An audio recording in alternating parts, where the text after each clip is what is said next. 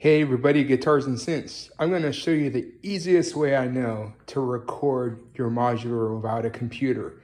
So what I have here is my little 4U palette case. I have my Eloquencer sequencer programmed in. I have uh, Endorphins Queen of Pentacles, and I have a trigger going from the Eloquencer to each of the drum voices on my Queen of Pentacles. And then I have a uh, chainsaw uh, voice module going into my dual dagger stereo filter. So both the chainsaw and the dual dagger are stereo. And then the outputs of these are going into my stereo uh, mixer, Befaco ST Mix, which is wonderful.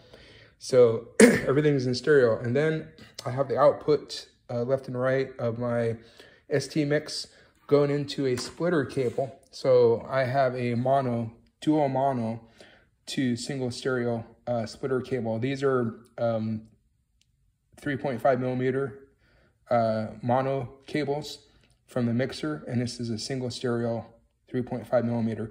I bought this off Amazon. It was really cheap. It was it was like eight bucks for for two of these cables. Um, 1010 Music sells one, but it's more expensive and um, it would probably be a longer wait. Um, I think this is a really great, this is the easiest mixer recorder I know to use. Um, so what you can do is you can see the levels. what I do is I go into file on my project and I create a template called jam test. So you can also do, so I have this jam test created, this file is loaded. I go into file, you can go save as template. Uh, and then um, what I usually do is I, I just do uh, space uh, record. Oops, I cannot type today. So uh, record modular is going to be my template name. So then that way, if I'm recording a modular, I don't have to worry everything's set up correctly. I go enter. So then you can do that, and then you can just load that in. It's loaded in already. And then once I'm in that, I go to track, you have to go to press this record to arm the recording of the track you want to record. You can see it's selected here in red um, and both outputs of my mixer from Eurorack are in it. So you can see the levels are even, which is good. If I increase the level on one of them, you'll see it go up and decrease this one, you'll see it go down. So you can see the differences, right? So one is a higher level than the other. But if I keep them the same, they'll be balanced out. So then you, you want to reduce clipping. You can see the red is clipping. So this is really useful. And then when I turn, and then um, the output is going into my OB4, which I use for my portable monitor. So I don't have to worry about hooking up cables. And, and this is really cool. You can also record uh, modular to it as well through the looping function, but we're not going to do that today. So you can hear it. In the record, you would simply, um, you know, set up this. I'm not actually going to load a project I have saved. So I'll hold this down. So I'm going to go to my, this, want to um, load. I'm going to pick B. I'm going to go no, I don't want to do that. So you can hold this a quarter down. So I'm going to pick A2. I'm going to go load. I'm gonna go yes. So then I'm actually gonna go back to the main function. So if I get out of this,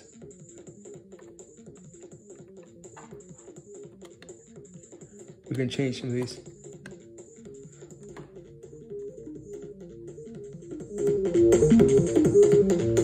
See it's uh, nicely laying out. I can change my settings on my modular.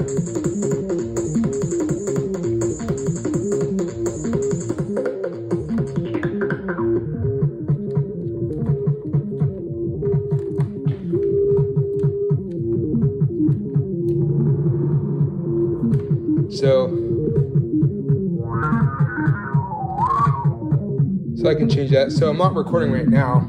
If I record this again, I have to hold record and play. Now it's recording.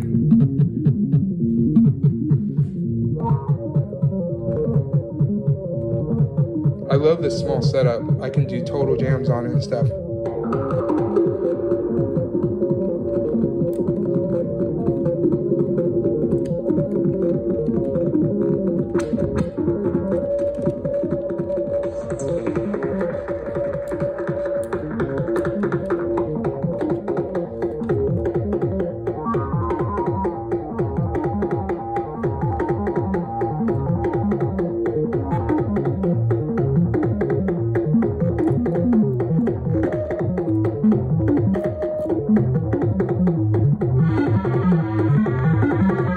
I'm going to stop my recording. Turn these down. Stop my sequencer. Turn this down all the way. And then I just disable the arm and then I can just press play.